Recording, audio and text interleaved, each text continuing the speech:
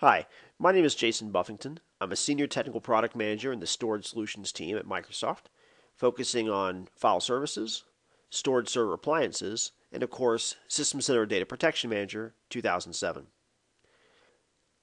So let's discuss what's new in Data Protection Manager 2007 with Service Pack 1 for protecting virtualized environments.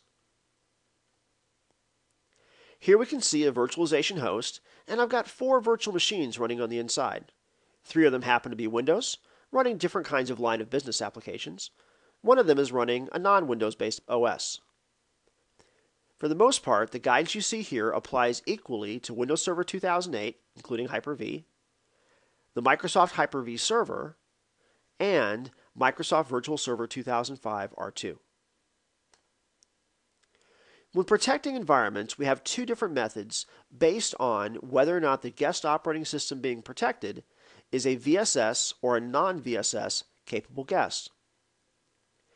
For any guest, operating system or application that is not internally VSS capable, which might include variants of Linux, Windows NT 4, and Windows 2000, as well as perhaps line of business applications that may not have a VSS writer. In these cases, we treat them all as non VSS based guests. To protect these style machines, we will hibernate the machine when the backup is scheduled to go off. By hibernating it, we're able to secure what was in the memory and in the CPU of those virtual machines and dump them to a flat file. It takes only a few minutes to hibernate the machine down.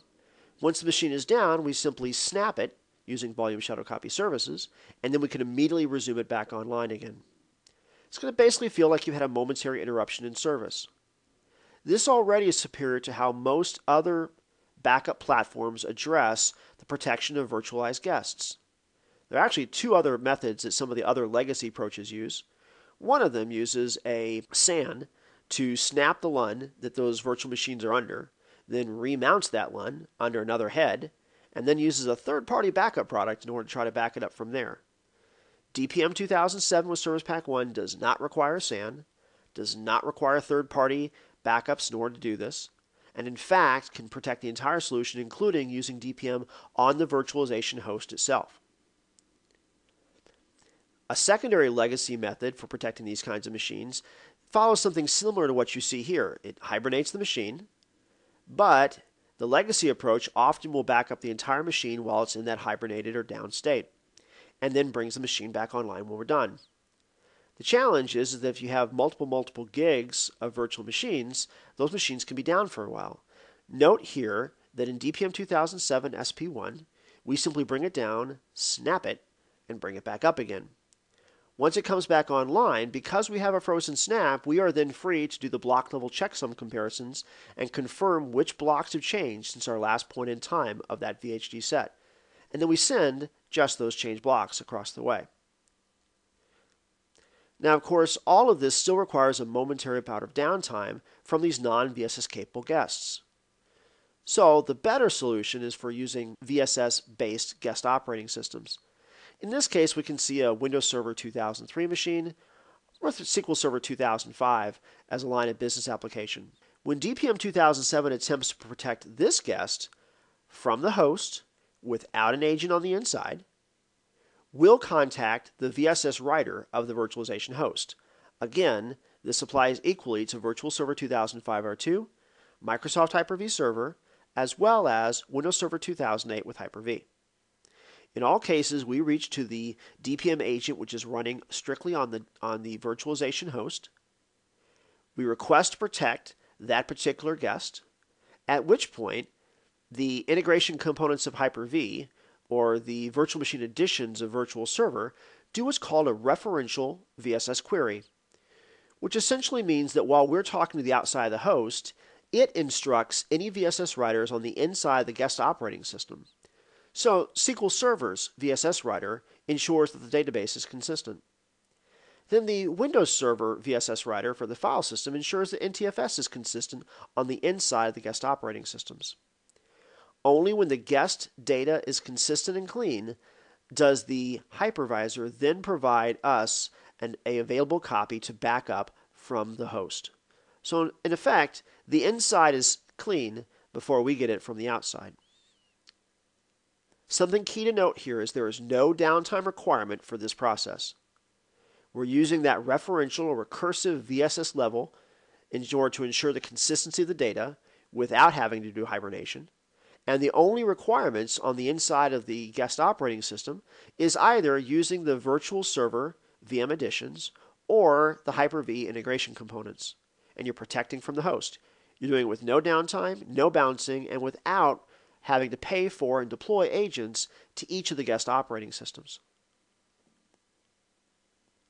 So then the question comes well, why wouldn't I always do that? Why wouldn't I always protect just from the host? It'll save me licensing on my guests. That's true, but let's talk about that in detail.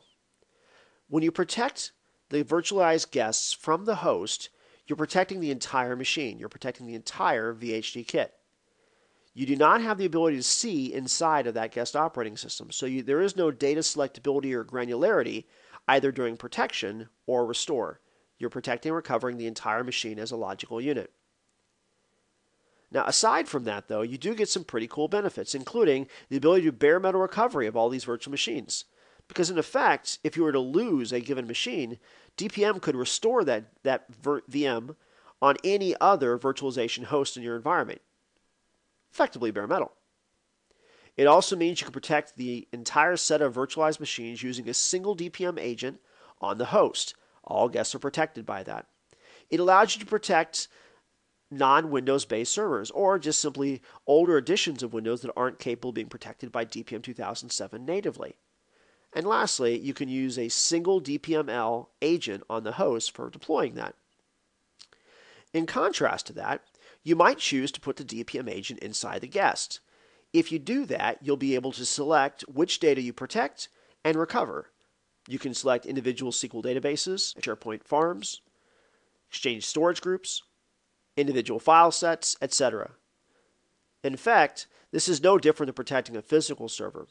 However, it does mean that you will be purchasing and deploying a DPM agent for each guest operating system. Good news is that you can use them both together. On the diagram on the bottom part of the screen, we see that for those line of business VSS capable applications and operating systems that are able to run a DPM agent on the inside, feel free to do that. Put a DPM agent on the inside, and that way you can protect individual databases and restore just those databases when you need them.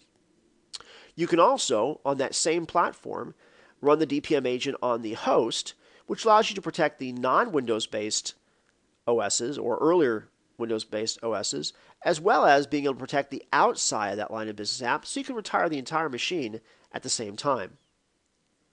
One key benefit, which is important to note, is if you acquire your Data Protection Management License or your DPMLs through the System Center Management Suite or SMSE. The SMSE is a bundle, so it includes the DPML, it also includes an OML for Operations Manager, a CML for Configuration Manager, and a VMML for Virtual Machine Manager. Interestingly, one of the additional benefits of the suite over purchasing the DPML for your virtualization host on its own is free use rights for the guests up to the amount of instances supported by the OS.